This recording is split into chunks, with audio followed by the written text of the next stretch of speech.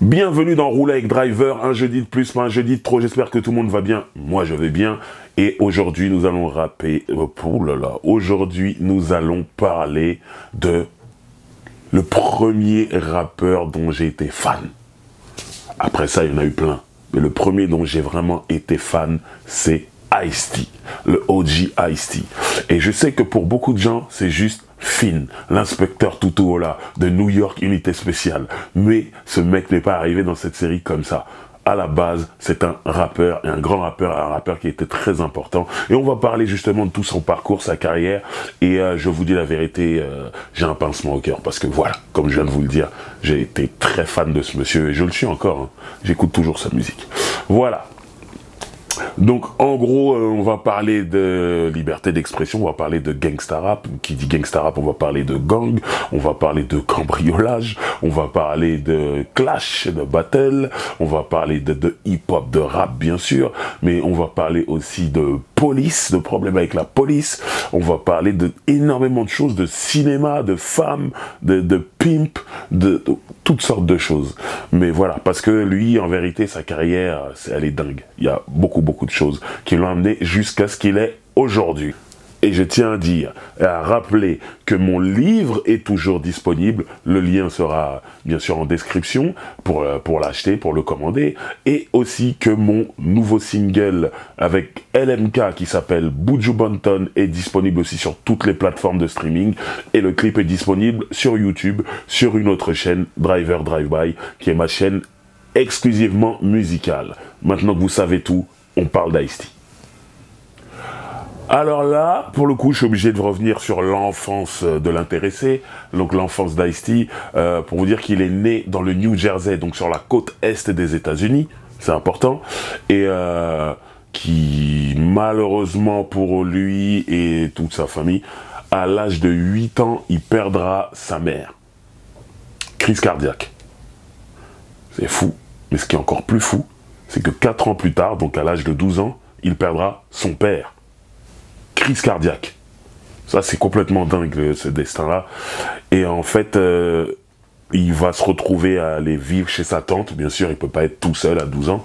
Il va aller vivre chez sa tante qui, elle, est à Los Angeles. Voilà pourquoi quand on dit Ice-T, on pense West Coast. Parce qu'à l'âge de 12 ans, il déménage pour Los Angeles, euh, South Central pour être précis et exact, euh, et qui est un ghetto de Los Angeles. Hein. Sa tante n'avait pas beaucoup d'argent. Il se retrouve là-bas, euh, et puis il va à l'école là-bas, il fait sa vie là-bas, mais il s'entend pas très bien avec sa tante. Donc il est beaucoup dehors, et quand on est beaucoup dehors à South Central, on rencontre les gangs. Donc euh, si tu veux pas te faire agresser, euh, vaut mieux que tu en intègres un. C'est pas obligatoire ce que je dis, hein. mais c'est comme ça que ça se passe dans la tête des jeunes, en tout cas, à ce moment-là. Vaut mieux que tu en intègres un, et lui, il intégrera celui de son coin, qui est Rolling 60s Creek donc les bleus. Et euh, quand je dis Rolling 60, c'est une section, c'est par exemple la même que Nipsey Hussle, repose en paix, ou euh, Corrupt, voilà, Rolling 60s.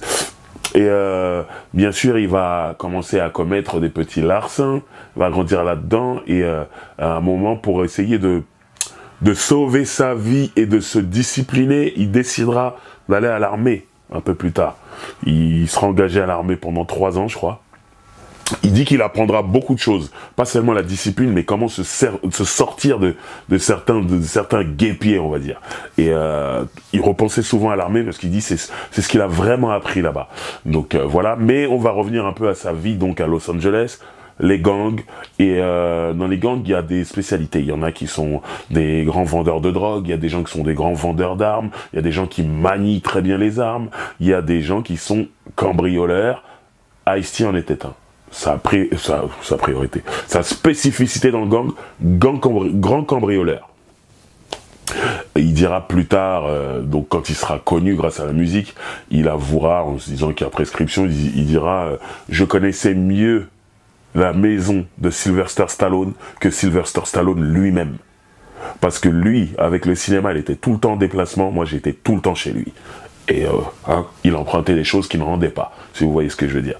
Donc euh, voilà, Ice-T est là, il fait ses, il fait son, il est, il est dans le gang quoi. Il fait ces, trucs qui sont que, les gangsters font, que les gangbangers font, mais en même temps, il tombe amoureux de la musique qu'il a déjà entendu sur la East Coast, qui est le rap le hip-hop. Il, il était breaker à un moment, euh, et à un moment, il décide de se lancer dans le rap. Et ses amis à, Los Angeles, du gang, lui disent Ouais, ouais, t'as un don, tu devrais y aller. Donc, il va faire un, ou deux morceaux à droite, dont un, morceau qui s'appelle Dog in Wax, que j'ai découvert après, hein, plus tard, pas au moment où il est sorti. Parce que là, je vous parle, on est dans les années 80 on est dans le milieu des années 80 et tout. Donc Dog in Wax, je, ce morceau, je découvrirai plus tard. Il va faire un morceau qui s'appelle Reckless, qui sera dans la bande originale du film Break Street 84. C'est un film que j'ai vu à l'époque, que j'avais vraiment apprécié sur des danseurs et tout, avec Turbo et Ozone, pour ceux qui connaissent ce film. Et euh, il fera même une apparition dans le film. Sauf que moi, quand je regarde ce film à l'époque, je connais pas ice encore. Donc je le vois, mais je ne sais pas qui il est. Euh, bref, je le connaîtrai un peu plus tard. Et euh, tout ça, ça va l'amener jusqu'à enregistrer euh, un, morceau, un single qui deviendra un West Coast classique. Un morceau, un morceau qui s'appelle Six in the Morning. 6 heures du matin un storytelling incroyable. Donc ce morceau, Six in the Morning, c'est comme je vous ai dit, storytelling. Voilà, il raconte la vie de gangster. Mais Ice-T dira plus tard dans une interview, quand on lui reparlera de ce morceau, que en fait, il a été inspiré par un morceau d'un certain rappeur de Philadelphie qui s'appelle Schooly D. Là, c'est old school. Hein. Mais euh, voilà, Schooly D qui avait un morceau qui s'appelait PSK, What Does It Mean? Et en fait, c'est le premier morceau officiellement sorti où un rappeur clamait un gang. Et il vient de Philadelphie. C'est important de le dire. C'était donc ce Schooly Donc, euh, si on doit recenser, c'est le premier morceau de gangsta rap qui est, qui est sorti. Et Ice-T dit qu'il a entendu ce morceau-là en club à LA et qu'il a beaucoup aimé et que ça lui rappelait justement, lui, sa vie qu'il était en train de vivre dans le gang. Donc il s'est dit, je veux faire ça. Mais tout le temps. Et euh, Ice-T a fait donc le morceau Six in the Morning en étant basé sur ça. Il dit, je vais raconter ma vie de gangster à Los Angeles, à South Central. Et voilà, le morceau aujourd'hui est un classique de la West Coast. Voilà. Derrière ça, il va avoir un deal, parce que le morceau va faire du bruit, il va avoir un deal pour sortir son album à grande échelle. Et il sortira son premier album qui s'appelle Rhyme Pays. Voilà. Il est important de dire que il a deux amis qui déménagent de New York, des frères, et qui viennent habiter à Los Angeles, à South Central aussi, et donc lui les rencontre à Los Angeles, qui sont NG, un rappeur, et DJ Evil E, qui deviendra son DJ.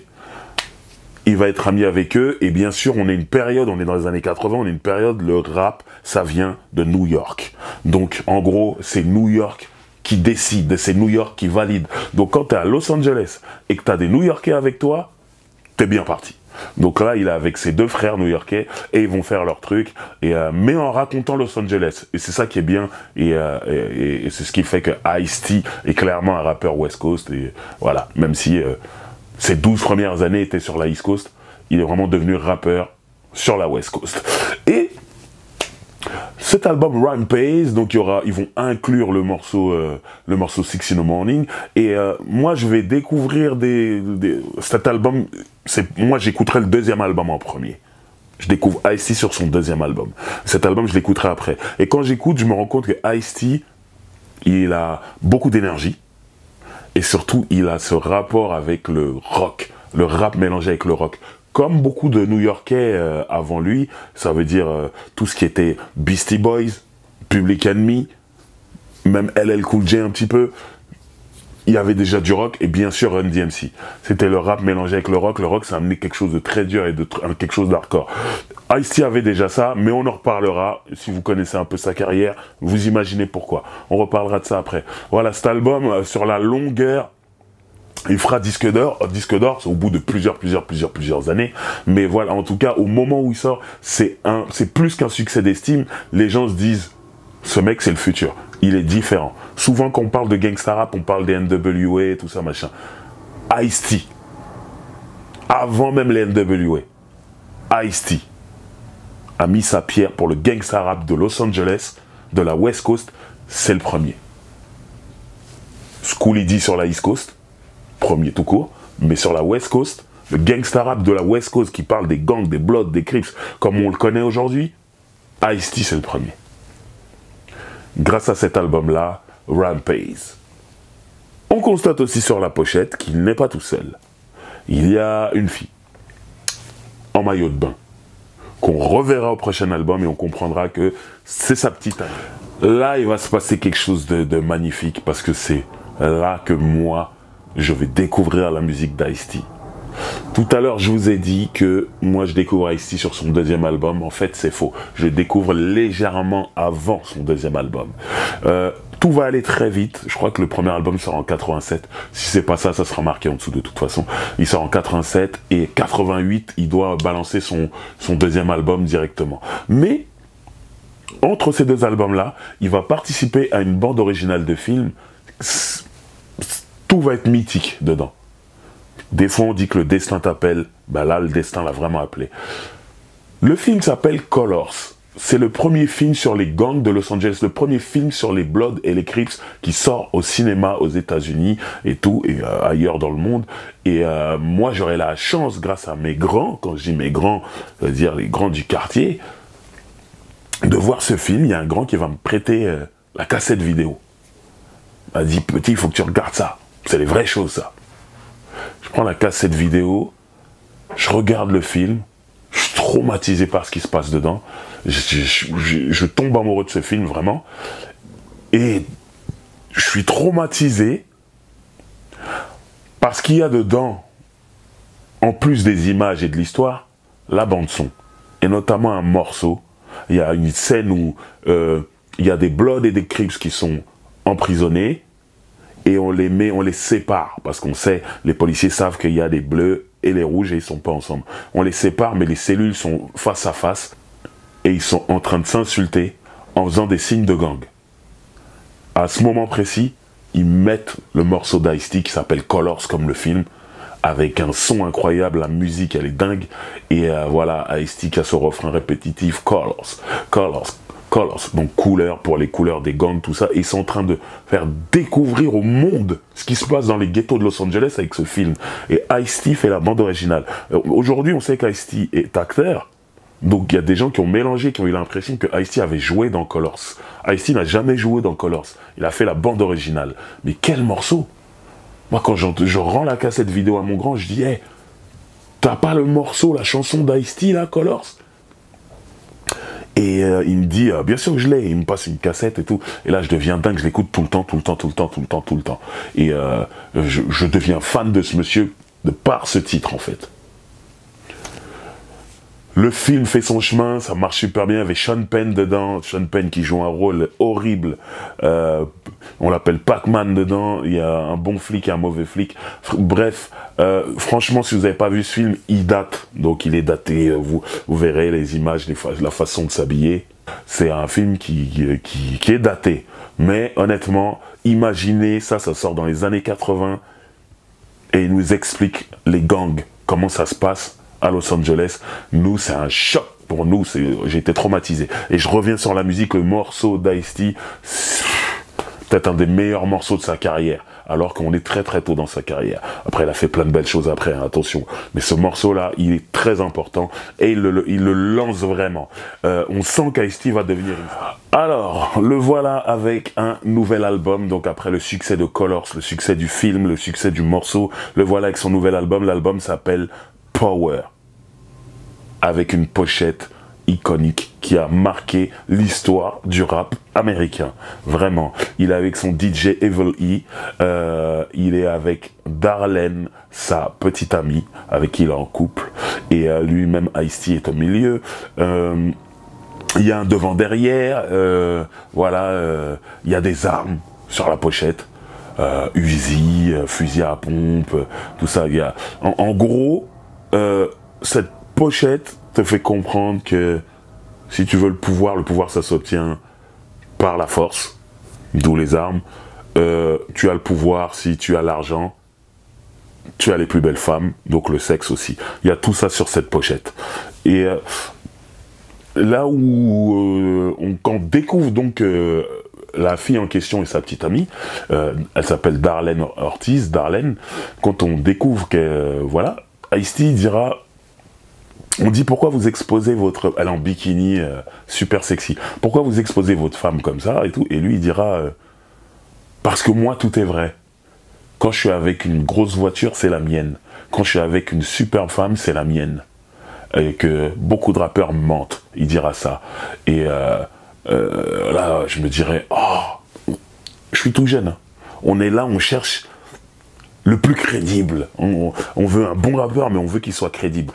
Euh, et, du coup, là, je me dis, non, mais c'est Ice-T, je veux être ce mec-là. Vraiment, je me dis ça à ce moment-là. Et euh, donc, du coup, l'album euh, Power sort, et on va voir un peu ce qu'il y a dedans. L'intro, ok, il y a le morceau Power qui est cool. Un bon morceau de l'album, il y a Drama, c'est cool, Heartbeat, c'est cool, The Syndicate, parce que Ice-T a un crew qui s'appelle le Rhyme Syndicate, le syndicat de la rime, et il y a plein de rappeurs dedans, et dont certains qui ont explosé, notamment comme Everlast, qui explosera plus tard avec son groupe House of Pain, le morceau Jump Around. Il faut savoir que Everlast faisait partie du Rhyme Syndicate et il rappait dans, le, donc dans le crew de Ice-T. Donc euh, voilà, il y a un morceau qui s'appelle The Syndicate où il y a plusieurs rappeurs qui sont invités. Il y avait Donaldy, il y avait des mecs de New York et tout ça. Et, moi, mon préféré de leur équipe, c'était un mec qui s'appelle Nat the Cat. Euh, Nat le chat et euh, je, je kiffais son style, son flow et tout ça machin. Maintenant, c'est important de dire aussi que de par ces connexions qu'il avait avec les deux frères NJ et Evil E, il faisait des allers-retours. Il allait souvent à New York travailler des morceaux des New-Yorkais, notamment un certain Africa Islam. Africa Islam, c'est un beatmaker de New York, du Bronx et tout ça, et qui a vraiment introduit Ice-T dans tout le réseau new-yorkais. Et voilà, parce qu'il faut savoir qu'avant, c'était vraiment New York, la capitale du rap, c'est là qu'il est né et tout. Et les autres, les New-Yorkais calculaient pas trop. Et là, avec ce Africa Islam, Africa Islam, il disait, lui, c'est mon gars Ice-T, il vient de la West Coast, il vient de Los Angeles, mais écoutez-le, il est sérieux. Et parce que Africa Islam était connecté avec tout le monde, les New-Yorkais se sont mis à l'écouter, euh, Ice-T, et à travailler avec lui. Donc Africa Islam, très important euh, sur, sur cet album-là, même sur la carrière d'Ice-T. Radio Soccer. Et là, il y a le single I'm Your Pusher. I'm Your Pusher. J'ai une histoire particulière avec ce morceau parce que moi, je rentre dans le hip-hop en écoutant exclusivement du rap américain. Quelques années plus tard, je découvre le rap français, des freestyles à la radio et tout ça. Donc le rap français, je le comprends. Le rap américain, je l'entends, je le ressens, mais je le comprends. Je comprends pas les paroles. Je suis tout jeune, voilà. Mon anglais, euh, voilà, j'ai pas j'ai même pas d'anglais encore. Mais il y a une émission qui va arriver sur M6 qui s'appelle Rapline, qui était présentée par Olivier Cachin à l'époque. Et euh, cette émission, euh, elle va jouer des clips de rap américain et des clips de rap français, mais euh, en fait, il y a très peu de clips de rap français à l'époque. Donc, cette chaîne, via l'émission Rapline, M6 va financer des clips de rap français. Et on verra euh, plusieurs rappeurs français passer là-bas et tout. Mais là, je vais revenir vraiment sur rap américain. La particularité, c'est qu'ils passaient des clips en mettant des sous-titres français. Et notamment ce morceau d'Ice-T, I'm Pusher. Et moi, c'était une révolution. Pour moi, je pouvais enfin rentrer dans le monde du rap américain. Je pouvais comprendre ce que les mecs disaient. Et I'm Your Pusher, c'est là que j'ai compris. Il reprend l'ensemble de Curtis Mayfield et tout. Et je comprends que un pusher, dans l'argot, c'est un dealer. Et euh, Ice-T, la façon dont il a écrit, il fait le, le, parallèle entre le monde du rap et le monde de la drogue. Il te dit qu'il vend sa musique comme on vendrait de la drogue. Et euh, donc, tu, vois, il y a des, des, comparaisons et des métaphores qui sont faites et tout. Et c'est là que tu comprends le système d'écriture du mec, en fait. Et j'aurais jamais compris, moi, si j'avais pas eu ces sous-titres dans Rapline. Et c'est là je, dis vraiment merci à Olivier Cachin et tout pour cette émission, parce que là, je parle d'Ice-T, mais il y a eu des NW et des Public Enemy, des LLQJ, des BDP, tout ça. J'ai pu comprendre euh, plein de choses. Euh, par rapport au rap américain et leurs paroles. Donc ce morceau est dingue. Et ce morceau va déclencher même un clash entre Ice-T et LL Cool J. Il est expliqué en détail dans la spéciale LL Cool J qui est disponible sur la chaîne euh, YouTube, Roulé avec Driver.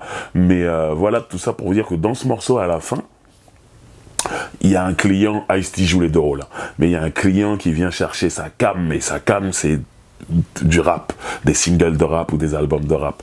Et euh, en gros, euh, il demande euh, à ice ah, qu'est-ce que t'as, qu'est-ce que t'as de bon pour moi et tout. Et ice lui dit, ouais, j'ai Public Enemy. Il dit, ah, ça tue, ça tue, ouais, donne-moi ça, mets-moi de côté. Il dit, ouais, j'ai BDP. Ah, ça tue, donne, mets-moi ça de côté. J'ai Bismarck, ah, ça tue, j'ai ça de côté. Et à un moment, il dit, dit, j'ai LL Cool J. Et là, le, le camé dit, enfin, le client dit, ah non, non, non, ça j'en veux pas, tu peux le garder.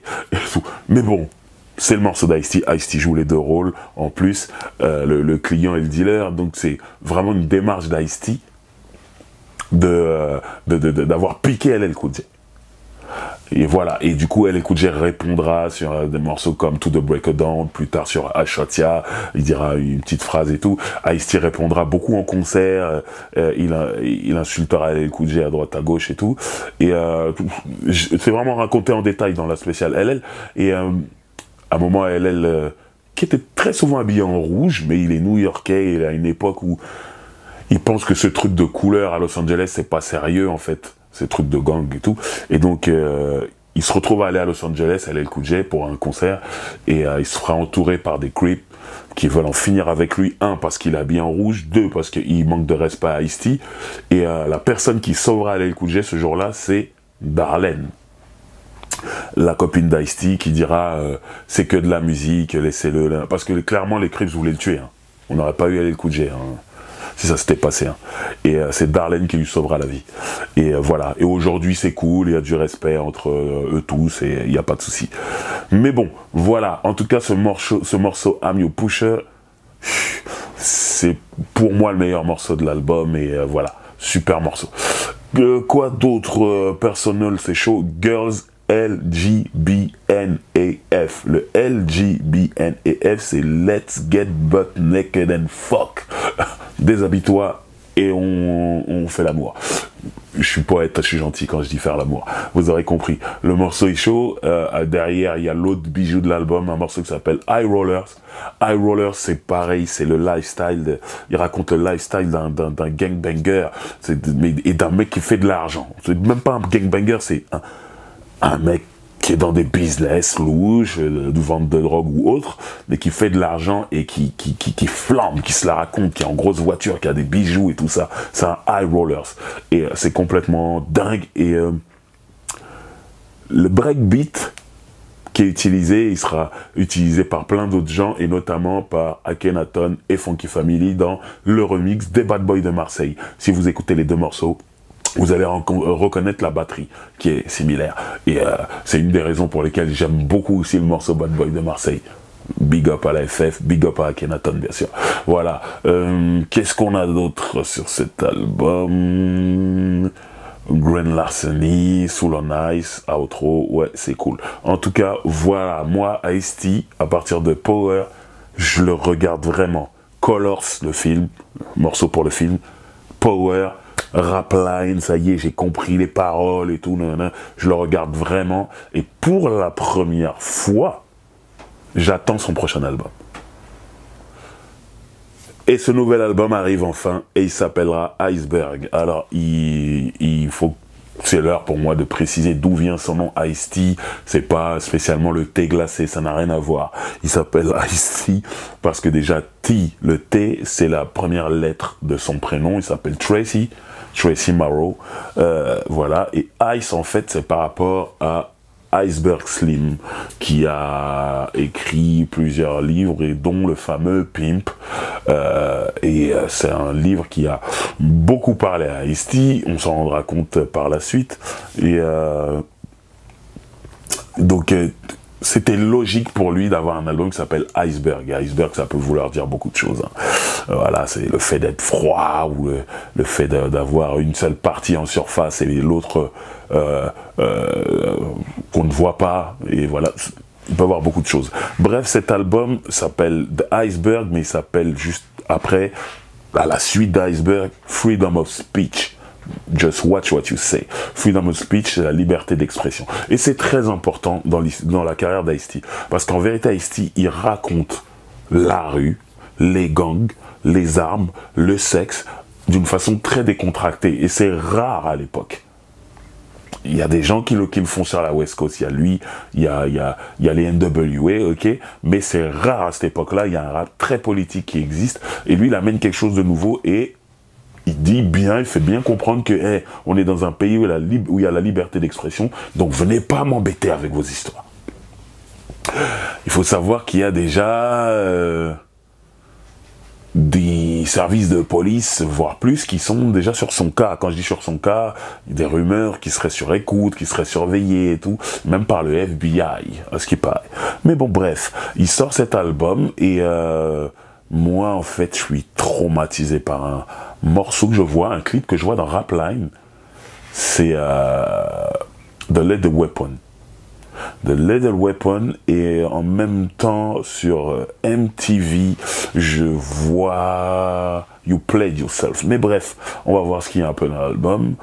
Euh, Shut Up Happy, c'est l'intro avec un gros riff de guitare rock. Apparemment, c'est un truc très connu du rock. Parce que moi, je me souviens, quand j'étais plus jeune, j'étais en colonie de vacances. Et euh, j'avais un poste radio où, euh, je pouvais mettre mes cassettes de rap et tout. Et c'était pas les périodes d'aujourd'hui où tout le monde écoute du rap et c'est cool d'écouter du rap. J'étais là, je mettais du rap, mais tous les moniteurs qui avaient n'écoutaient pas de rap. Je pense même que je leur cassais les oreilles. Ils en avaient marre. Euh, ils étaient issus d'un cursus rock, en fait. Et le seul moment où, en fait, euh, ils étaient un peu d'accord avec ce que j'écoutais, c'est quand je mettais cet album d'Ice-T, notamment l'intro. Et, eux, ils m'ont dit, ouais, euh, oh, c'est dingue que tu connais ça. Et ils m'ont dit un nom que je ne connaissais pas du tout. Et c'était, je pense que ça a été, ils ont samplé ce groupe de rock, en fait, qui devait être un classique ou quoi. Et euh, moi, je connaissais que l'intro d'Ice-T. Mais euh, les moniteurs me disaient, ah, tu connais ce truc-là, tout, ah, c'est bien. Ah, vas-y, remets, remets, remets. Donc, apparemment, ils ont samplé un classique du rock et tout. Moi, je découvrais, moi, à ce moment-là. Mais bon, cool. Qu'est-ce qu'il y a juste après? Il y a le morceau de Iceberg. Alors là, on est plus dans du James Brown classique. Alors, samplé James Brown dans la fin des années 80, le début des années 90. Classique du rap américain. Donc, voilà. Ensuite, il y a le morceau de Lethal Weapon. Alors ça, c'est mon morceau. J'étais comme un fou. Le clip, il y a Darlene. Euh, il est important de dire que, comme beaucoup de gens, j'étais amoureux de Darlene. Darlene, donc, la copine d'Ice-T à ce moment-là. Je dis la copine, petite amie, parce qu'ils ne sont pas mariés. Ils étaient en couple. Euh, ils vivaient ensemble. Ils ont eu un enfant, mais ils n'étaient pas mariés. C'est pour ça que je dis pas femme, en vrai. Bref, euh, après de Lay the Weapon, il y a You Played Yourself, pareil, clip avec Darlene. Et voilà, Darlene, je suis encore plus amoureux, je suis comme un ouf. Et le morceau tue, pareil, on est dans du, du, sang à la James Brown, ça tue.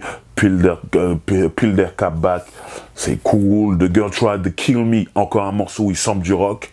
Et euh, du classique du classique. Et c'est le genre de morceau que je mettais quand j'étais en colonie. Mes moniteurs, étaient contents. Ils disaient Ah, ouais, ouais. Et c'est là, c'est fou quand même.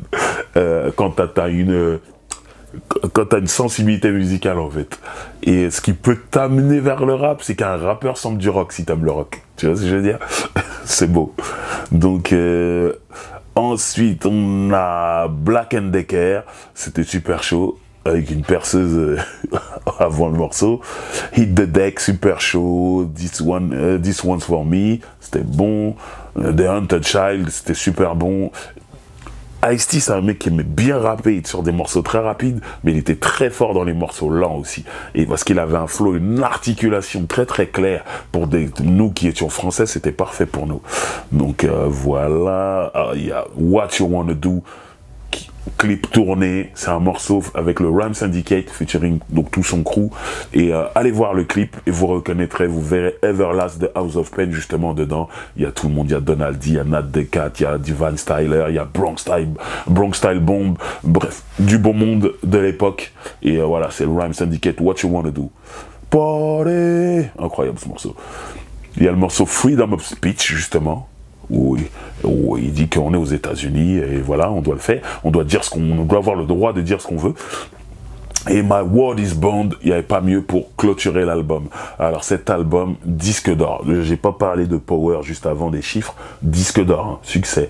Euh, Iceberg, succès. Euh, Ice-T est signé sur un label qui s'appelle Syri Record et qui est distribué par Warner ou licencié chez Warner pour être précis. Donc euh, ça y est, il y a une grosse machine. Les majors comprennent que ok, ce rap si controversé, le gangsta rap, euh, il y a de l'argent à faire dessus. Il y a les NWA qui ont fait euh, 10 de platine sans radio avec Straight Compton. Voilà. Les majors se disent, il nous faut des gangsta rappeurs de la West Coast. Et ça commence à signer euh, de partout. Et c'est pour ça que je dis que Ice-T et les NWA ont ouvert la voie à ce gangsta rap. Donc il faut leur dire merci. Alors c'est important de dire que Ice-T est quelqu'un de très charismatique. Il est là et quand il rentre quelque part dans une pièce, il brille, on le voit. Et puis c'est quelqu'un qui a des cheveux longs, qui fait des permanentes ou qui fait des queues de cheval, qui truc à la manière des pimps. Il s'inspire du monde des gangbangers, mais il s'inspire aussi du monde des pimps. C'est pour ça que je vous ai Iceberg Slim, celui qui a créé le livre Pimp, très important pour lui, une inspiration et tout ça. Et la rumeur dit qu'il va même maquer quelques filles à un moment de sa vie. Euh, donc voilà. Et donc il a cette dégaine. C'est quelqu'un, voilà, très charismatique. C'est donc quelqu'un qui va que le qui va être attiré par le cinéma comme un aimant. Euh, comme je vous l'ai dit, il a fait une apparition dans Break Street 84. Ensuite, il va faire la bande originale du film Color sans jouer dedans, mais tellement les gens ont vu le clip, ils avaient l'impression qu'il jouait dedans, bah c'est peut-être le moment de vraiment le faire jouer, lui donner un vrai rôle. Et c'est ce qu'il aura euh, grâce à Mario Van Peebles, qui va réaliser le film New Jack City et qui va vouloir Ice-T dans le casting pour jouer le rôle d'un policier, sachant que dans sa musique, il critique beaucoup la police, insulte beaucoup la police. Donc euh, là, on va lui donner euh, le rôle de ce policier qui va devoir infiltrer, je ne vais pas vous spoiler le film si vous l'avez pas vu, mais très très grand classique. Hein. Euh, il faut le voir, New Jack City. Donc il va jouer le flic infiltré pour démanteler un, un réseau euh, de trafic de drogue euh, à New York. Voilà, le, film est très urbain et euh, est, est, accompagné d'une d'une bande originale de film très hip-hop et R&B. Donc voilà, Ice-T va jouer dedans. Mais avant ça, en fait, quand, quand on lui propose, il n'a pas envie de jouer un policier. Il se dit, mais qu'est-ce que les gens vont penser de moi? Il dit, dans ma musique, je suis là en train de cartonner la police. Et là, tout d'un coup, je dois jouer le rôle d'un policier. Il se dit non, c'est pas cohérent et tout. Donc il hésite. Il a envie de faire du cinéma, mais il se dit je peux pas rentrer dans le cinéma en étant policier. Donc du coup, euh, il a l'idée d'aller demander à des amis du gang qui sont incarcérés. Donc ça veut dire que la police a mis en prison pour des délits et autre chose il fait des parloirs ou alors des lettres et il parle à ses amis, il leur dit voilà, j'ai cette euh, proposition pour faire un film, ça va être un gros film et tout, il y a du budget, mais je dois jouer le rôle d'un policier. Qu'est-ce que vous en pensez? Et là, ses amis, ses amis tolards vont dire mais t'es malade, fais-le. On aimerait tous faire du cinéma. Il dit ouais mais je dois jouer le rôle d'un policier. Il dit alors on sait que t'es pas vraiment un policier, c'est un rôle, joue-le accepte cette offre. Et ice dira, à partir du moment où ses potes en prison n'avaient pas de problème euh, avec le fait qu'il joue un, policier, il s'est dit, ah ouais, non, mais je peux y aller en fait. Les mecs, ils sont en prison. Et du coup, il a accepté, et il a très bien fait d'accepter, parce que comme je l'ai dit, le film deviendra un classique. Et euh, voilà, super film que j'ai regardé je ne sais combien de fois, et euh, vraiment très très bien, et inspiré de plusieurs choses qui existait vraiment à New York. Euh, donc voilà, allez voir, je ne vais pas vous spoiler le, film si vous ne l'avez pas vu. Ceux qui l'ont vu, voilà, comprennent. Et euh, bien sûr, cette fois-ci encore, euh, il fera la bande originale, en, tout cas il donnera un morceau pour la bande originale du film, et le morceau s'appelle New Jack Hustler. Pareil, je le vois dans Rapline avec les sous-titres, je suis comme un fou. Alors là, il se met vraiment dans la peau du du mec qui en a rien à foutre, qui est là que pour faire de l'argent, que pour euh, euh, euh, vendre ses produits, vous me comprendrez, et, puis il s'en fout de qui il blesse et tout ça. il avance, il marche sur les gens. Et donc, il parle à la première personne comme ça, et c'est magnifique. Et Ice-T et son charisme, il y a même Mike Tyson dans le clip, et c'est la période où Mike Tyson, il les étale tous, les mecs, hein, sur le ring. Et voilà, donc c'était super chaud de, voir ça, et euh, avoir la traduction à cette époque-là, mais un bijou, mais c'était du bonheur. Franchement, merci Rapline encore, je, le redis une deuxième fois. Voilà. Et euh, donc New Jack City sortira pareil, ça marchera bien, carton, et euh, super. La carrière au cinéma d'Ice est lancée. Alors, ensuite, nouvel album. Euh, vous imaginez, bien porté par le single New Jack Hustler, le film New Jack City, Ice-T, on le voit partout. Et du coup, c'est le moment de sortir le nouvel album. Et il sortira un album qui s'appelle OG, Original Gangster. Personnellement, moi, c'est la première fois que j'entends cette expression. Aujourd'hui, on l'entend à, tout va. Ouais, c'est un OG hein, pour dire c'est un ancien.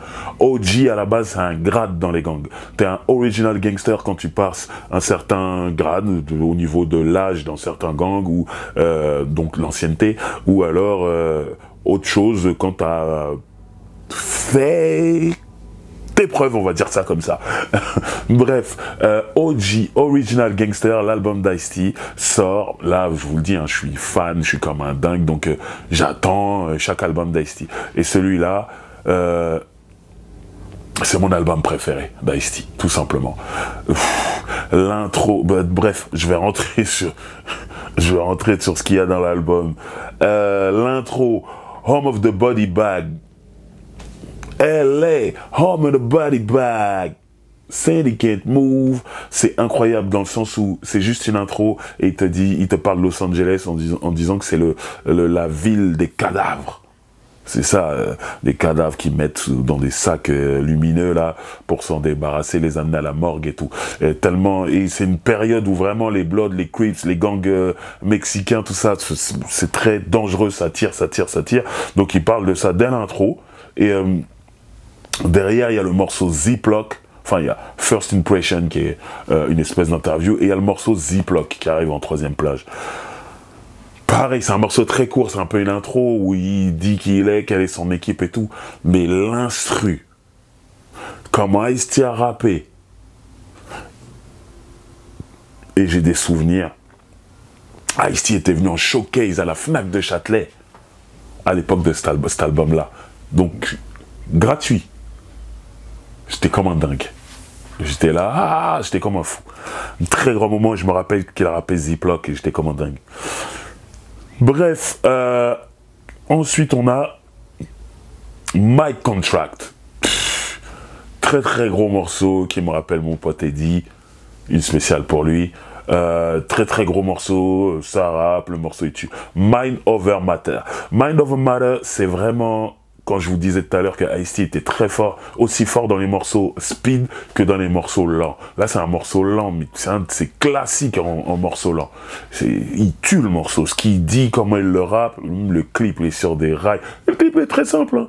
Rail de train, il marche, son charisme, c'est suffisant. Une tuerie. Après, il y a New Jack Hustler, le fameux morceau euh, du film dont je vous parlais tout à l'heure. Il y a Ed, qui est... Euh, Petit interlude, très très bien. Il y a le morceau Beaches 2. Pareil, un morceau lent, une tuerie. Ce qui raconte dans le storytelling pour dire que eh, des fois tu marches avec des gens, mais ils sont pas très fiables. C'est des bitches aussi. Donc, euh, très très bien. Le morceau Straight Up Nigga, incroyable morceau. Speed, dingue. Le morceau OG, Original Gangster, morceau éponyme, tout ça, l'album.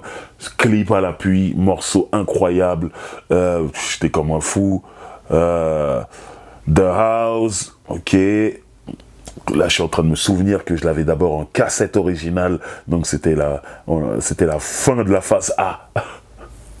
J'ai pris en CD, mais voilà. Euh, ensuite, il y a Evil E, What About Sex? C'est cool. Et il y a le morceau Fly By avec Nat Decat du Rhyme Syndicate et euh, Donaldy, il me semble qu'il y a Donaldy aussi. Ouais. Quel morceau un de mes morceaux préférés de l'album aussi, qui n'est pas sorti en single, mais cool. Fried Chicken, enfin Midnight d'abord, oh là là, Midnight justement. Je vous parlais tout à l'heure de l'intro de Iceberg, où euh, il reprenait un truc de rock apparemment connu vu que mes moniteurs de, de colonie étaient comme des fous. Ben là, c'était juste l'intro de l'album Iceberg. Là, il reprend ce même sample de rock et il va faire un morceau. Et le morceau s'appelle Midnight, Midnight, minuit, l'heure de l'homicide. Et c'était incroyable. Et pour vous dire la vérité, ne faites pas comme moi. Mais quand j'étais plus jeune, c'est arrivé que des fois on se chamaille, un groupe contre un autre groupe et tout. Et comme moi, tout passait par la musique, pour me motiver, j'étais chez moi et j'écoutais ce morceau dice Midnight, l'heure de l'homicide. J'allais tuer personne, hein. mais il fallait que je sois dans un mood, sinon j'allais pas pouvoir. Et euh, il y a des gens qui prennent des substances, quoi. Moi, la musique, tout passe par la musique. Je suis désolé, tout ça, je ne veux pas, hein, ne faites pas ça, mais voilà c'est des souvenirs que ça me rappelle. Midnight, Time from Homicide, incroyable morceau. Euh, Fried Chicken, c'est cool. MVP, MVP, c'est un morceau dédicace, il dédicace tous les, les gens du rap américain qu'il aime. Derrière, il y a le morceau Lifestyle of the Rich and Infamous avec un clip. Et c'est la première fois qu'on voit Ice-T dans un truc un peu comique. Le morceau est marrant, euh, le clip est marrant. Et euh, Ice-T, c'est quelqu'un qui est très sérieux, très premier degré dans sa musique. Et euh, là, c'était la première fois on le voyait un peu plus décontracté. Et là, il y a un morceau très important qui arrive derrière. Le morceau s'appelle Body Count. C'est un morceau de rock, clairement. Il rappe pas dessus. C'est vraiment du rock, du métal. C'est un truc très très dur. Et moi, je comprenais pas. J'ai dit, mais pourquoi il met ce morceau de rock au milieu de l'album? Alors, je sais qu'il avait des inspirations rock. Mais là, là, on a franchi un cap. Là, c'est vraiment du rock. Ça n'a plus rien de rap. Et il met ce morceau dedans. Et comme je suis fan d'Ice-T et que, comme je vous l'ai dit tout à l'heure, moi d'abord, je l'ai en cassette, cet album. Donc je mettais dans mon Walkman cassette et je m'écoutais tout l'album. J'étais pas en train de zapper comme on fait aujourd'hui euh, en streaming. Tu, veux pas écouter un morceau, tu le sautes. Moi, je laissais. Donc ça fait que quand ce morceau de rock arrivait, je me le tapais. C'est-à-dire au début, je me disais, mais pourquoi il a mis ça? Mais à force de l'écouter, je commençais à l'aimer. Et surtout, il était très très vulgaire le morceau et tout. Et, on est jeune, on aime bien, on veut le bordel quand on est jeune. Donc euh, voilà, j'étais en train de commencer à kiffer ce morceau. Et je me rappelle, j'étais au lycée et j'avais un pote dans ma classe qui lui était un, un, rocker, était dans un groupe de rock, il jouait de la guitare et tout. Et un jour, j'avais mon Walkman et le son crachait, il sortait du casque et tout. Et là, il entend, il me dit, t'écoutes du rock toi?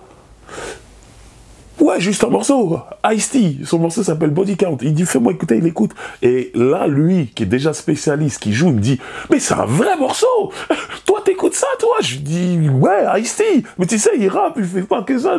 Il était choqué, mais quand j'ai vu dans ses yeux que pour lui, le morceau, était réel, il était vrai, je me suis dit, ok, Ice-T, quand il fait ce morceau-là, il le fait vraiment. Ok, pas de problème. Le morceau s'appelle Body Count et ça reste dans ma tête. On en reparlera après. Ensuite, on a Prepare to Die, Escape from Killing Fields, morceau de dingue, Street Killer, euh, Pulse of a Rhyme, incroyable. Pareil, l'instru. Oh, l'instru de Pulse of a Rhyme, c'est dingue. Et de Tower, avec une espèce de musique de film d'horreur. Pareil, ça doit être un, classique. Je regarde pas les films d'horreur. Oui, j'avoue, ça me met pas bien. Mais euh, je sais que le thème, le piano du morceau de Tower, c'est un, truc, un classique de, de, de, de film d'horreur ou euh, d'épouvante ou appelez ça comme vous voulez. En tout cas, le morceau tue et il termine par l'interlude qui s'appelle Yashura Kill Me Last Years. Et j'adore ce titre. Il parle, hein, c'est tout. Hein. Mais la traduction, c'est vous auriez dû me tuer l'année dernière. Et en fait, il s'adresse à la police il insulte le FBI, il insulte la CIA, il, insulte le président des États-Unis, c'est George Bush, euh, le grand, le père. Quand je dis le grand, c'est le plus âgé, le père. Euh, il insulte les institutions dessus, et euh, je le répète, je suis jeune, j'ai besoin de ce bordel-là, et surtout, c'est comme si il nous faisait comprendre, c'est pas parce que j'ai joué le rôle d'un flic dans New Jack City que, que je suis rentré dans les rangs, hein et il les insulte et il dit vous auriez dû me tuer l'année dernière. Et ça renvoie à ce que je vous disais tout à l'heure, c'est que dès Iceberg, il est sur écoute, tout ça. En tout cas, surveillé par la police, par rapport aux mots, à ce qu'il dit. Il est surveillé. Et il le sait, et il se permet de les insulter sur disque. Et c'est complètement fou. Et moi, autant vous dire que c'est mon héros, ice euh, mon premier t-shirt sérigraphié. Avec mon pote Eddie, on fait ça, on, monte sur Paris-Châtelet et, et, on se met la pochette de l'album OG sur le torse. Tu vois ce que je veux dire? Sur le t-shirt, on a cet album-là. Moi, Ice-T, c'est mon héros, en fait, vraiment. Et, et, je sais que ceux qui connaissent ma musique vont se dire, mais tu racontes pas les mêmes trucs qu'ice C'est parce que très vite, j'ai compris qu'il fallait pas que je sois quelqu'un d'autre. Qu'il il fallait que je sois moi. Mais en vérité, mon héros dans le rap américain, mon premier héros, c'est Ice-T. Et là, on parle de l'album OG, c'est mon album préféré de ce héros. J'en pouvais plus. Et vous remarquerez, hein, je vous ai fait tout, toute la tracklist, euh, j'ai jamais dit ouais ce morceau bof, j'aime tout. Même les interludes, elles sont dingues. Classique album. Alors là, on va revenir sur Body Count. Je vous ai parlé là juste avant dans l'album OG de ce morceau de rock qui était au milieu d'un album de rap qui s'appelle Body Count. Eh bien là, on va en savoir un peu plus et on va se rendre compte que Body Count est un groupe de rock. Ice-T en est le chanteur principal et c'est un groupe de rock. La particularité de ce groupe, c'est que ils sont tous noirs et habillés comme des gangbangers. Ils portent le Dickies, ils ont des lunettes, des OG look et tout ça. Et, quand on les regarde, on pense que c'est un groupe de rap, alors qu'en fait c'est un groupe de rock. Et Ice-T devient totalement un autre personnage, avec les mêmes valeurs entre guillemets que Ice-T le rappeur, mais il passe son message autrement, plus en avec moins de flow, plus en criant, plus dans les codes du rock, du heavy metal même, que je ne connais pas bien. Donc je vais pas vous faire un truc sur Body Count là tout de suite, parce qu'il y a au moins 6 ou 7 albums de, avec ce groupe. Donc c'est sérieux, Ice-T aime vraiment ça. Il a, il a pas fait un album comme ça pour rigoler. Body Count c'est sérieux, c'est des tournées, tout ça, machin, et succès, des fans et tout. Maintenant, moi, je vais vous parler d'un morceau en particulier parce qu'il va avoir des répercussions sur le reste de la carrière de Ice-T le rappeur. Faut savoir que Body Count, Ice-T dans les textes, c'était très provocateur. Très très provocateur. Et euh, un jour, il parle de la police. Et avec le groupe, ils font un morceau qui s'appelle Cop Killer, tueur de flics. Ils sortent le morceau. À peine il est sorti, il y a des syndicats de police, tout ça, qui se, se lèvent contre ce morceau, qui disent que ce n'est pas possible. On ne peut pas laisser un, tel morceau sortir. Il parle, il, incite les gens à tuer des policiers. Ice-T raconte la journée de quelqu'un qui, qui a souffert pendant énormément de temps des brutalités policières et qui dit que cette fois-ci, euh, ça se passera plus comme ça. Il est armé et qu'il est prêt à tuer des flics et c'est ce qu'il fait dans le morceau. Voilà.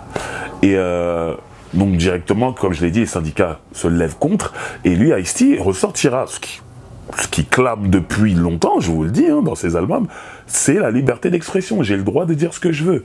Et euh, bien sûr, les policiers ne seront pas d'accord et Ice-T et ses avocats feront comprendre que, hey, Schwarzenegger, euh, dans ses films, notamment Terminator, il tue des flics. Il y a des films qui tuent euh, des, médecins, des films qui tuent des je sais pas quoi, tout. On dit rien. Et c'est que quand moi, je un morceau, on dit quelque chose. Il me dit à un moment, si Schwarzenegger, il a le droit de tuer des gens dans un film, euh, j'ai le droit de tuer des gens dans une chanson. Sur le papier, la liberté d'expression, tout ça, il a raison. Et il devrait s'en sortir. Sauf que les policiers sont plus malins que ça. Ils ont mis la pression à Warner qui distribue les disques d'Ice-T. Ils ont dit, nous, on va vous attaquer, vous. Donc débarrassez-vous de lui. Et Warner, Siri Record, Warner, ils diront à voilà, nous, on n'a rien contre toi, on aimerait continuer à travailler avec toi. Tes disques marchent. On a la pression des, hautes instances sur nous, euh, c'est compliqué, donc euh, on va devoir se séparer. Et ils vont se séparer d'un commun accord, parce qu'Ice-T et son équipe vont dire, je vous comprends.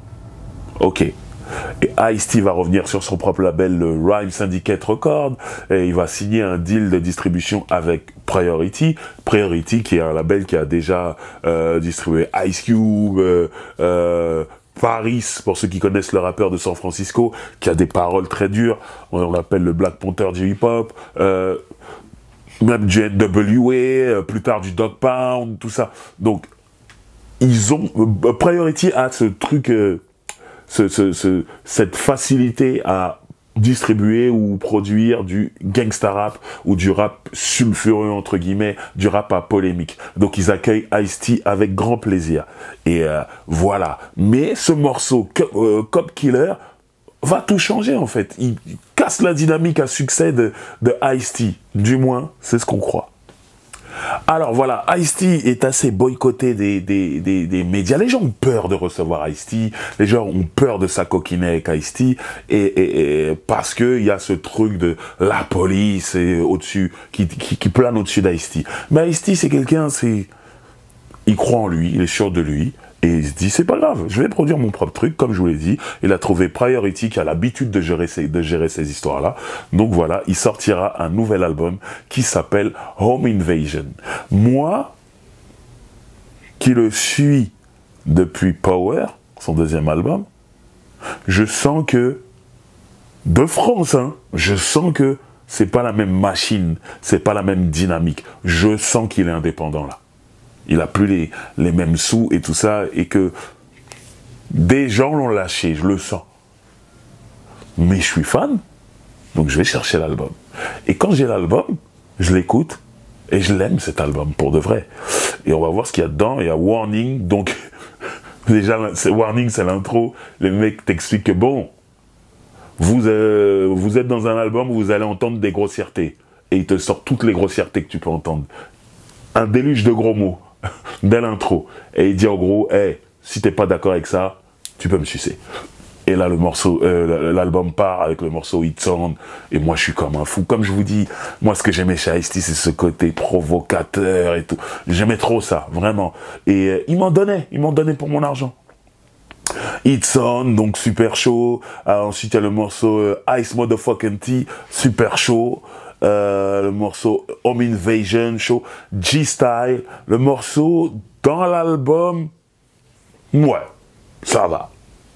Il fera une autre version pour le clip avec un beat un peu plus dur et surtout euh, il va sampler parce qu'on est en 1993 là. Il va sampler And baby de Dr. Dre Snoop, la voix de Snoop pour être précis. Et euh, je trouve que ça va donner un, vrai truc parce que le G-style, c'est le gangster style. Et euh, voilà, la version du clip est, meilleure. Addicted to Danger. Euh, c'est lui, c'est le high style, le militaire, il, il, est accro au danger, le morceau est cool, enfin, la musique, un truc sombre et tout, j'aime beaucoup. Watch the Ice Break, un morceau super chaud, j'aime beaucoup ce morceau dans l'album, l'instru, Ice-T, comment il est posé, il est tranquille, un boss, vraiment. Race War, c'est un morceau qui est, cool, ambiance rapide, mais c'était pas mon morceau préféré. Il y a un remix euh, fait par Assassin. Quand je dis Assassin, je parle, oui, oui, oui, du groupe de Rocking Squat. Donc Dr. L euh, avait euh, remixé ce morceau, donc il existe une version avec le remix d'Assassin. Derrière, le morceau That's How, That's How I'm Living. That's How I'm Living, la version de l'album, elle est sombre et tout, c'est cool.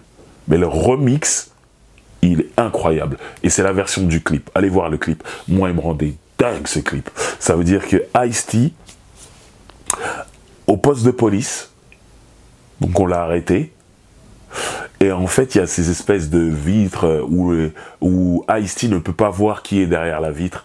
Et les policiers sont là derrière. Il y a des policiers, des avocats, ce que vous voulez, ils sont là. Et Ice-T est en train de rapper. Il raconte sa vie. I was born in New Jersey. Il raconte sa vie. Et à des moments, il met des coups de pression comme ça, il s'approche de cette vitre et il menace comme ça les gens qui sont derrière, ils ont peur comme si ice les voyait, alors qu'ice les voit pas. Ce clip, il est simple, hein, mais il est dingue. Moi, j'ai tout, j'adore. Quand je termine ça, là, je vais me le regarder. Ça fait très longtemps que je l'ai pas regardé.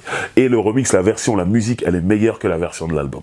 Donc quoi, à l'époque, les remix, c'était super important. Et je parle de remix, changer la musique, pas rajouter des rappeurs. Ça, ça, ça a changé aujourd'hui. C'est autre chose. Et j'aime bien aussi. Hein. Donc voilà. I Knew This, ce morceau, clip, single, clip, euh, il est sur un bateau et tout, et encore une fois, j'allais en colonie de vacances, c'était une autre colonie de vacances, et je me rappelle qu'on faisait du bateau, je crois que j'ai raconté ça à un moment en parlant de Snoop ou de Dr. Dre, c'était une époque où le mec qui nous faisait faire des tours de bateau, c'était un Scandinave, un Suédois, je crois, et qui, parlait très bien anglais, parce qu'ils l'apprennent mieux que nous, eux, l'anglais. Et je me rappelle, donc je mettais des cassettes de rap dans le bateau, et euh, je l'ai raconté dans un Rolex Driver, je sais plus lequel, que j'avais mis euh, Chronique de Dr. Dre, et dès l'intro, Snoop parle et tout, il disait un million de grossièretés, et euh, nous, on était des gamins, on avait 13, 14 ans, je sais plus, et, et le mec, le suédois en question, disait, mais vous comprenez les paroles? Nous disait non, on les comprenait pas, il disait, mais c'est très vulgaire, truc, machin, mais comment et tout, et quand je voyais sa tête, ça me faisait rire. Ben, dans ce même bateau, je mettais ce morceau I Knew This de Ice-T parce que dans le clip, à un moment, il est en bateau. Et je voulais vivre comme lui. bon, lui, il avait l'argent pour... Nanana. Moi, j'étais juste en colonie de vacances. Mais dans ma tête, j'étais Ice-T. Et je mettais ce morceau. Hey, New Release. Hey, New Release. J'étais comme un ouf. J'étais trop content. Ce morceau tue. Et je l'écoute encore aujourd'hui. Playlist euh, euh, de ma plateforme de streaming, tout ça, il est dedans normal. Euh, Pim Behind the Wheels. c'est DJ Evil E qui rappe pendant tout le morceau, il rappe. Le DJ, il rappe. Et euh, ça tue. J'aime l'énergie qu'il met dedans. Et là, on est obligé de parler de, ce morceau. Gotta love, cause I got a lot of love. Got a lot of love. Euh, j'ai beaucoup d'amour. Euh, en fait, c'est un morceau qui est sorti à un moment après les émeutes du à Rodney King, au tabassage de Rodney King. Donc, je raconte vite fait pour ceux qui connaissent pas, euh, des policiers sont, ont tabassé euh, euh, un, noir à Los Angeles qui s'appelle Rodney King, alors qu'il n'avait pas il n'y avait pas lieu de le tabasser comme ça, il était désarmé, il était même pas armé, et, pour la première fois, on est dans le début des années 90, on n'est pas dans les, réseaux sociaux où tout le monde a un, un, smartphone, tu peux tout filmer. Là, dans le début des années 90, c'est un mec avec une caméra qui a filmé la scène. Du coup, la, vidéo a tourné, elle s'est retrouvée à la télé, et euh, du coup, voilà, euh, les policiers ont été accusés, jugés et acquittés. On les a laissés sortir. Ils étaient clairement protégés. Ils ont dit OK. Et là, tout le monde est descendu dans la rue, dans les ghettos de Los Angeles. ils ont fait des émeutes, il y a eu des grosses émeutes et tout. Et euh, derrière ça aussi, ils en ont profité, les gangs, pour dire notre ennemi, c'est l'État. Notre ennemi, c'est la police. Euh, pourquoi on se tape dessus, les Bloods et les Crips? On devrait faire une trêve et être ensemble. Et Ice-T raconte ça dans le morceau. Il raconte la trêve, en fait, entre les Bloods et les Crips, qu'un jour on l'appelle, on lui dit, mec, c'est historique ce qui est en train de se passer. Les Bloods et les Crips, ils font la paix. Et on voit ça, il y a un clip, on voit dans le, dans le clip plein de gangbangers ensemble. Et c'était beau. Parce que moi, je parle souvent de gang ici. Mais ça ne veut pas dire que je valide. Hein des gens qui se tuent, qui s'enlèvent la vie, juste pour des guerres de territoire. C'est pas beau. moi, quand il y a cette paix, moi, personnellement, deux France, hein, loin de tout ça, mais qui s'intéressent, je trouve ça super cool. Bon, ça va pas durer super longtemps. Hein. Ils vont se retirer dessus, ils vont se refaire la guerre. Et euh, je crois qu'il y aura une autre trêve un peu quelques années plus tard. Mais pareil, ça repartira toujours. Euh, bref, je pense que ça s'arrêtera jamais, malheureusement. Mais euh, voilà. En tout cas, ce morceau-là, il vient de ça, de cette anecdote-là, et c'est plutôt cool. Et j'aime le côté haut-parleur qu'ice a. Et surtout, on a une époque où les rappeurs qui sont affiliés à des gangs, ils le clament pas, ils le disent pas. Tu vas voir des couleurs un MC8, tu le verras toujours en bleu, un DJ Quick, tu le verras toujours en rouge. Mais Ice-T, par exemple, c'est quelqu'un qui disait, si dans un clip, tu me vois en bleu, sois sûr que le clip d'après, je vais être en rouge. Pour équilibrer le truc. Je veux pas clamer, je veux pas qu'on sache que... Et, tout a changé au bout d'un moment, et je pense que c'est l'arrivée de Defro, où ils ont commencé à, clamer leurs couleurs et leurs gangs, et là, après, tout le monde clamait jusqu'à New York, euh, vu que les Bloods et les Crips, il y en a partout aux États-Unis, et voilà. Mais l'époque dice c'était l'époque où on ne disait pas clairement. T'es à Los Angeles, tu sais, mais dans le reste, tu sais pas parce que voilà. Et Ice-T, c'était un mec qui brouillait les pistes. Hein. Ça lui arrivait de s'habiller en rouge alors que c'était un bleu. Voilà. Qu'est-ce qu'on a d'autre ensuite sur l'album? Hit the Fan, c'était cool. Depths of Hells, c'était mon morceau. Euh, avec Daddy Nitro, un, un mec qui fait du reggae dancehall, qui fait le refrain et la fin. Euh, le morceau est dingue. Il était aussi sur la bande originale du film Trespass. Trespass, c'est un film où euh, dans les acteurs principaux, il y a Ice-T et Ice Cube qui s'entendaient super bien, qui s'entendent toujours super bien. Les deux Ice de la, West Coast. Et surtout, euh, ils ont un morceau tous les deux sur la bande originale. Il y a un clip aussi, Trespass. le film n'était pas ouf, mais la bande originale est mortelle très très bien. Et Ice-T et Ice Cube ensemble, c'est très bien. Mais Tupac a eu la chance d'avoir Ice-T et Ice Cube sur le même morceau. Sur l'album Strictly for My Niggas, il y a, un morceau featuring Ice-T et Ice Cube. C'est beau. Euh, 99 Problems avec euh, Brother Marquis de Two Live Crew. Euh, pourquoi je, vous, je prends ce ton-là Parce que beaucoup de gens connaissent le 99 Problem de Jay-Z. I got 99 Problem but the beach ain't one. Mais c'est une reprise du morceau d'Ice-T. Et ça, très peu de gens s'en rappellent, ou même sont au courant. Donc je suis là pour vous rappeler ça. Et euh, c'est dingue parce que un jour j'étais euh, pas à LA mais à Paris avec Damani, un rappeur qui était produit par Snoop à l'époque, un rappeur de LA, Inglewood pour être pour être euh, précis. J'étais donc en voiture avec mon pote le Pim Césaire du CSRD. Damani était avec nous on allait en studio, on enregistrait, on devait enregistrer un morceau ensemble pour mon album qui s'appelle L'Architecte, donc je crois que c'est en 2010, quelque chose comme ça. Et euh, dans la voiture, on écoute des vieilleries, dont euh, cet album d'Ice-T. Euh, et il y a le morceau qui arrive, 99 Problems. Et là, il comprend pas. Damani, qui est de Los Angeles, hein. il entend que le son, la façon de rapper, elle est à l'ancienne, mais en même temps, il entend le refrain de Jay-Z. Et il dit, mais c'est quoi? Je comprends pas. Pourquoi le mec, il rappe comme avant, mais il a le refrain de Jay-Z? Et c'est là qu'on lui dit, t'es sérieux? Mais ça, c'est l'original, ça. Ice-T, 99 Problems, c'est son morceau. Jay-Z l'a repris. Et on apprenait ça à un Américain. Et ça, c'était ouf. Et un mec de Los Angeles. Bon, ça arrive, hein, les gens, ils, suivent pas tout et tout, machin. Mais c'était une petite fierté quand même. Et euh, voilà, mais tout ça, c'est pour vous dire que ce morceau, ce gimmick, j'ai 99 problèmes, mais une bitch n'en est pas un. Et euh, parce qu'ils ont trop de bitch, en fait, c'est un morceau très pimp, en fait. Et pour dire que, hey, c'est rien. C'est rien. Et ben, franchement, c'est notre ami Icy qui lance ça et euh, bien sûr Jay-Z qui le reprend. ensuite, on a quoi? On a Funky Gripstar.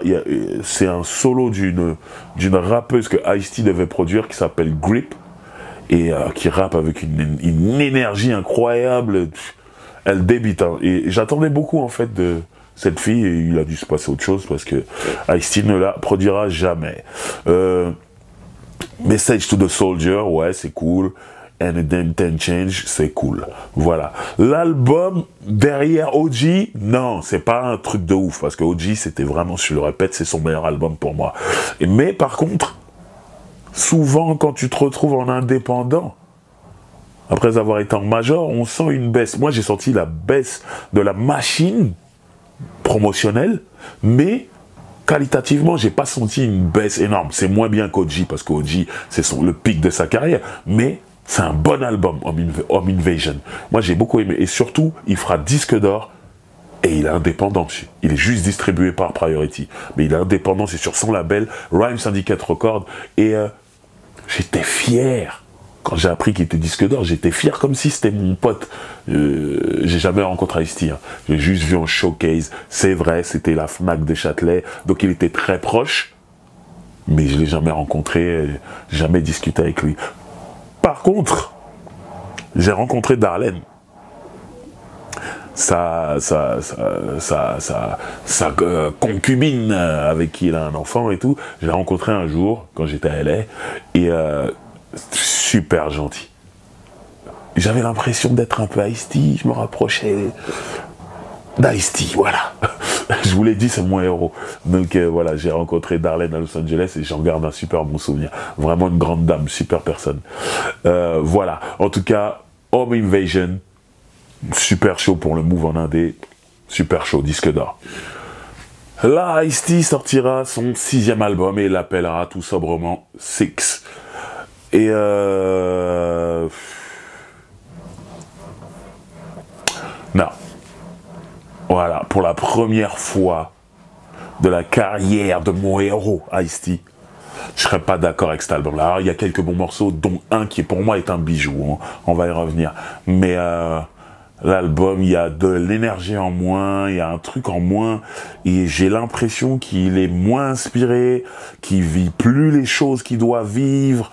Euh, Ice-T, c'est quelqu'un qui, était dans la routine de sortir un album, partir en tournée mondiale, revenir, faire un album, partir en tournée mondiale. Et j'ai l'impression qu'il est saoulé. Et que finalement, cette histoire de cop killer, là, avec Body Count, ça lui a un peu coupé les jambes en tant que rappeur. Mais par contre, en tant que rocker, il a continué et il a sorti plusieurs albums de Body Count. Et je pense que son cœur était peut-être plus dans le rock que dans le rap à ce moment-là. Euh, voilà, en tout cas, moi, l'album, euh, j'étais déçu à sa sortie. Euh, il y a quoi dedans? Il y a Pimp Anthem. Ouais, pas un grand souvenir. When the shit goes down, ça va. Bouncing down the street, non. Return of the Real, c'est cool. I'm a Stand, qui était le premier, le premier single, c'était très spécial. C'était très très spécial, mais euh, personnellement, euh, quand c'est sorti, j'ai pas aimé, même si le clip est beau, j'ai pas aimé, mais avec le temps, j'ai, euh, voilà, je, l'ai trouvé sympa, cool. Donc ça va avec le temps. Mais sur le moment, j'étais pas comme un ouf. Et surtout en premier single, non, tu dois nous attraper avec un vrai truc. Raps Game Hijack, non. How Does It Feels? How Does It Feels, c'est mon morceau préféré de l'album. C'est une tuerie. Et je trouve que Ice-T, qui était là avant Defro, avec ce morceau, il s'adapte à Defro. Ça veut dire qu'il met un chanteur au refrain, mais un chanteur qui ferait du net dog. Il n'a pas la même voix et tout, pas pareil. Mais ce que je veux dire, c'est que il vient pas pour chanter l'amour. C'est pas un chanteur de R&B, c'est il chante la gangster shit comme un Ned Dog le ferait. Et ça, c'est Defro qui a ramené ça. Et de voir Ice-T un chanteur comme ça, c'est cool. Et j'aime beaucoup ce qu'ice-T fait. Il y a un mec qui rappe en featuring aussi qui fait son boulot et tout. Et le morceau, il est lent, il est truc, il est chill, il est soleil et tout. C'est le LA que j'aime. Et franchement, ce morceau, c'est le bijou de l'album. How does it feel? The Lane, non, ça m'a rien fait. Rap is fake, non. Mec de Loot Loop, j'aime ce morceau. Il est cool. Voilà. The Fifth, non. Syndicate Forever, non. It's going down, non. They want me back in, non. Inside of a Gangsta, ça va. Euh, Force to Dirt, non. Haters, non. Cramp Your Style, non. Real, non. Voilà, il y a beaucoup de morceaux, j'ai dit non. En vérité, il y a trois morceaux que j'aime bien dans l'album, dont How Does It Feels, qui est magnifique. Et j'ai acheté l'album parce que j'ai entendu How Does It Feels dans une émission SP. Le morceau n'est pas sorti en single, mais j'ai entendu dans une émission SP ici, en France. Donc du coup, j'ai acheté, l'album pour ça. Mais euh, la, vérité, c'est que non, je suis déçu de l'album. Mais je l'ai. C'est ice Et qu'ice c'est mon héros. Donc je m'en fous. Même si l'album est pas bien, s'il y a trois morceaux que j'aime bien, ça me suffit. Il reviendra plus tard. Alors, entre-temps, euh, il y a des concerts, il y a du cinéma. Il tournera dans énormément de films. Hein. Euh, des films euh, qui sont pas des succès, mais par contre, beaucoup, beaucoup, beaucoup. Donc, il est vu comme... Euh, comme il est vraiment vu comme un, un, un, acteur de cinéma par beaucoup de jeunes qui le découvrent à ce moment-là. il y aura quand même une série qui s'appelle Player les maîtres du jeu, je crois en français, un truc comme ça, euh, qui marchera plutôt pas mal. Donc euh, on le verra ici, on le verra à droite, à gauche et tout. Donc il y a beaucoup de cinéma quand même dans tout ça. Et il sortira un nouvel album, le septième, qui s'appelle Seventh Deadly Sin, le septième péché capital. Euh, sombre et tout l'album, mais moi j'ai pas apprécié. Et là par contre, deux albums de suite d'Ice-T que j'apprécie pas c'est important de dire que entre, il y a eu Defro entre temps. Moi, je suis un fan de gangsta rap et Defro, ils ont changé le game, ils le font d'une autre façon. Ça fait que Ice-T, respect à vie pour lui. J'aime trop ce type, vraiment. Mais je commence à me détacher de sa musique. Là, je me dis, euh, ok, il a plus de jus. Voilà ce que je me dis. Et c'est normal, le rap c'est comme du sport. Hein. Euh, quand tu prends de l'âge c'est pas que de l'âge, c'est quand tu as sorti beaucoup de projets en fait, plus que l'âge, tu as laissé beaucoup de jus dedans et, pour que tu en aies à nouveau, faut t'entourer de jeunes. Jay-Z le fait très bien. Et ça te donne un, nouveau jus, un nouveau juice, et tu peux repartir et refaire des belles choses. Et je pense que Ice-T, pas entouré de jeunes. Euh, en tout cas, voilà. Euh, je vous fais pas le truc de Seven Deadly Sin, euh, le track by track, parce que j'ai pas aimé l'album, en fait. Donc voilà. En tout cas, bon, je garde toujours un œil sur lui parce que c'est Ice-T, mais je suis sur Snoop, sur, sur Dre, sur le Dog Pound, sur Ice Cube, West Side Connection, Dub et, et Mac 10, je suis dans toute cette gangster shit là en fait, les mecs de la Belle et tout short, les E40, et je suis sur, dans ce truc là en fait. Et Ice Cube lui réussit à traverser ce, ce nuage noir de ouais t'as déjà trop donné trop de projets. Ice Cube il continue. Là où Ice T ça se calme. Mais il est toujours dans le cinéma. Alors, les derniers albums qu'il a sortis n'ont pas eu de succès. Il est vraiment focus sur le cinéma. Il tourne, mais euh, il va, il va pas super bien. Je dirais pas qu'il est déprimé, mais il est un peu mou à ce moment-là. Il s'est séparé de Darlene parce qu'ils étaient dans une routine et que euh, voyait bien que l'amour n'était plus comme au premier jour. Donc, euh, il s'est séparé d'elle. il, il a pimpé quelques meufs. Je rentrerai pas dans les détails, mais euh, voilà. Et euh, mais il est pas, il est pas bien. Et ses amis à Esti voient qu'il est pas super bien. Et à un moment, il est dans je sais plus quelle ville des États-Unis. Euh, il est là-bas pour un tournage et il a tourné toute la journée. Et le soir, les amis d'Ice-T disent vas-y, ce soir, viens, on sort, on va dans un bar et et on va boire quelques verres, on va s'amuser et tout ça, machin. Ah, Ice-T, ouais, je sais pas. Si, il faut que tu sors, tout ça. Les amis sentent que Ice-T ne va pas super bien. Donc Ice-T décide de sortir. Mais il attend rien de cette soirée, vraiment rien. Et euh, à ce moment-là, il y a un mec, un pote d'Ice-T qui dit « Je vais te présenter une fille. » Et il lui ramène une blonde. Super sexy. Poitrine qui va vers le nord. Un fessier qui va vers le sud.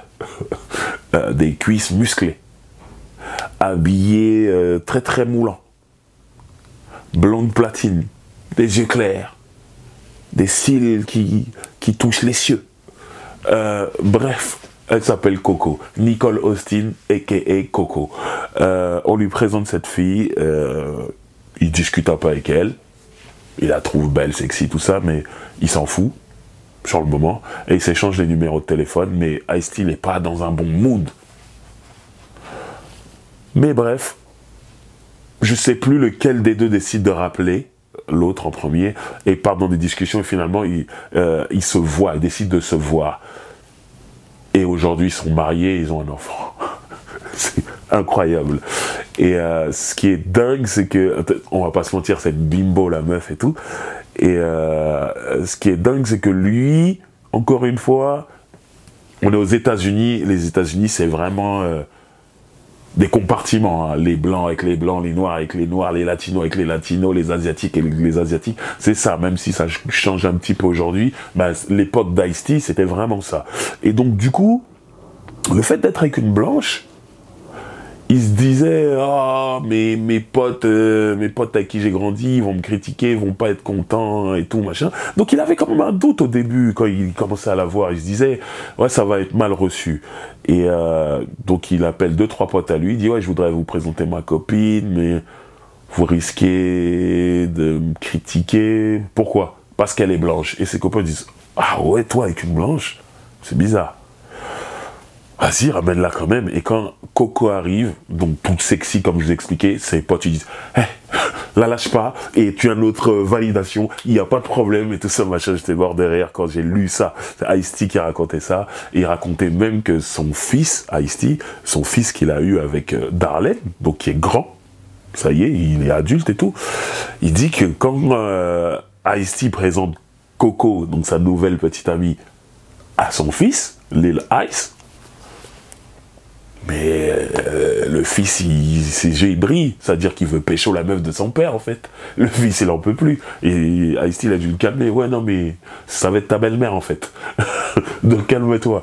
Mais voilà, tout ça pour vous dire que Coco, c'est une femme très sexy et euh, qui sait euh, réunir les communautés, j'ai envie de dire. Et ça, c'est beau. Rien que pour ça, déjà, merci Coco. Elle a réuni les noirs et les blancs. Et ça, c'est cool. Donc voilà. Et euh, voilà, aujourd'hui, ils sont mariés et, euh, euh, que dire de plus? Ils ont un enfant, la petite Chanel, qui ressemble énormément à ice Un petit peu à Coco aussi, mais beaucoup à ice Elle a la fossette. Et voilà. Alors très rapidement, je suis obligé de parler de l'album Gangsta Rap. Je dis obligé parce qu'on est vraiment dans la partie de sa carrière où sa musique me touche moins on va pas se mentir. Mais pourquoi je dois parler de cet album Gangsta Rap, ne serait-ce que pour la pochette? La pochette de cet album, c'est Ice-T avec Coco sur lui, avec euh, ils sont tout nus, et du coup, euh, la jambe de Coco cache les parties intimes d'Ice-T. Euh, voilà, il y a eu des controverses, euh, il y a des magasins qui voulaient pas distribuer l'album à cause de la pochette et tout, il y a eu des trucs comme ça. Mais voilà, c'est le seul truc que je retiendrai de cet album-là, c'est la pochette. Parce que l'album, c'est pas nul, hein, mais tranquille. Et surtout, pas en accord avec ce qui se passe en termes de gangsta rap à ce moment-là aux États-Unis. Donc voilà, moi c'est pas. Euh, voilà, il fallait que je parle de la pochette. Plus il y a Coco que j'apprécie. Oui, oui, oui, parce que c'est important de dire, je vous ai dit que j'étais amoureux de Darlene, je suis amoureux de Coco aussi. Hein. ice a très bon goût. Voilà. Alors, là, il va lui arriver le plan de sa vie, j'ai envie de dire. Pas vraiment le plan de sa vie, parce que ce qui lui arrive là, c'est pas, c'est grâce à tout ce qu'il a fait avant. Mais c'est assurer ses beaux jours, en fait. Euh, il ne manquera plus jamais de rien financièrement. C'est ça que je veux dire. Grâce à ce plan qui va lui tomber dessus, le cinéma, vous me voyez venir, la série New York Unité Spéciale. Euh, il jouera le rôle de l'inspecteur Tutuola et son rôle est apprécié. Donc on ne fait pas disparaître son personnage, il est vivant. Et surtout, la série marche donc, reconduit, reconduit, reconduit. Ça fait plus de 10 ans qu'il fait ça, même beaucoup plus, je sais plus. Et il est grassement payé. Du coup, c'est tourné à New York. Donc, le symbole fait que il est retourné vivre là où il est né. Au New Jersey, dans le New Jersey. Mais le bon quartier, le bon, bon coin du New Jersey. Et ils ont construit une maison avec Coco. Il vit là-bas avec son enfant et tout. Et c'est cool. Et euh, c'est même il aurait pu, vivre à New York City et tout. Il a voulu vivre dans le New Jersey déjà parce que c'est un coin calme aussi là-bas. Je parle pas des ghettos de New Jersey bien sûr, mais voilà. Et euh, il a fait son, il a, il retour au New Jersey pour la série euh, qui est donc, comme je l'ai dit, tourné à New York et qui est un carton. Et il est multimillionnaire. Alors, il l'était déjà avec la musique, mais voilà les moments euh, compliqués euh, où les albums marchent moins, les moments où il se retrouve dans des films qui sont pas des gros films et tout, l'argent peut baisser. Et là, avec ça, avec New York, unité spéciale, il est au top financièrement et il est cool, il s'occupe de sa famille et ça devient un, un, bon papa. Il est là, il est tranquille, il est moins sulfureux et tout, mais euh, il est là, il est présent à la télévision grâce à cette série tout le temps et tout le monde connaît ice pour des raisons différentes, mais tout le monde connaît ice Et voilà, grâce à cette série notre ami Ice-T, Cop Killer et tout ça, ah, le FBI, la CIA et tout ça, il se retrouvera dans une télé-réalité. Mais c'est la sienne. Ice loves Coco avec sa femme. Voilà, on les suit un peu dans leur euh, dans leur euh, dans leur quotidien et on voit euh, Coco faire ses business, monter ses business et tout. On voit Ice-T très posé avec son chien, il joue à la console toute la journée. Ah, vieux père. Il a fait sa vie, il est riche, il, va tourner euh, sa série, et il fait rentrer l'argent ah, et tout va bien. Et en vrai, Bon, moi je regarde, j'ai regardé cette télé-réalité parce que c'était Ice-T, comme je vous l'ai dit, c'est mon héros. Euh, parce que Coco, comme je vous l'ai dit, je l'aime. Et euh, pour voir aussi quelle était sa vie aujourd'hui. Et honnêtement, je suis content pour lui. C'est un, un Rolling 60s creep. Sa période, son époque à lui, les années 80, ce qu'il a vécu dans les gangs, il n'aurait pas dû être vivant. La musique l'a sorti du ghetto. Et je trouve qu'il a fait les bons choix à chaque fois. Et c'est ce qui l'a mené là où il est aujourd'hui, sa petite vie pépère, où il joue à la console, tout ça, et il rentre des millions et tout. C'est magnifique. Moi, pour moi, c'est une réussite, ça. Surtout quand tu, tu viens de l'univers des gangs, tout ça. Après, il n'y a pas que lui, hein, il y en a plein d'autres, mais respect pour ça. Il montre toujours autant d'amour pour le rap. Il, euh, il peut sortir un morceau comme ça, sorti de nulle part de temps en temps, il y va, et il y a des trucs qui m'ont étonné hein, dans les singles qu'il a sortis là euh, ces dernières années. Il y a des trucs que je me suis dit, oh ok, si tu fais un album comme ça, euh, moi je te suis. Et surtout, je voulais parler de son documentaire The Art of Rap. J'en ai parlé dans la spéciale Naughty by Nature, il me semble. Et c'est magnifique en fait, un concept très simple il va voir des stars du rap américain, des légendes du rap américain. Il va les voir, il dit, si je te dis l'art du rap, à quel couplet tu penses? Et les mecs te balancent un couplet. J'en parlais dans le spécial Naughty by Nature, parce que Eminem a sorti un couplet de Twitch de Naughty by Nature. Et voilà. Mais il me semble qu'il demande à Q-Tip dans la rue à, à quoi tu penses, et Q-Tip le rap un couplet de New Jack Hustler. Il me semble que c'était Q-Tip. De toute façon, il y a deux, trois artistes qui l'ont rappelé du Jack Hustler. Et, ça, c'est fou. Et là où il est, il pourrait se dire, ouais, le rap, ça y est, je m'en fous. Mais il aime encore ça. Ça lui arrive de monter sur scène, de faire des concerts. Et j'ai vu un, post qu'il a mis sur Instagram où il disait, il y a des gens qui me demandent, Ice Steve, pourquoi tu montes encore sur scène? Il dit, parce que je peux le faire et que j'aime ça. Je sais toujours rapper, donc je rappe. Et je suis d'accord avec ça. Ice-T, mon premier héros du rap américain.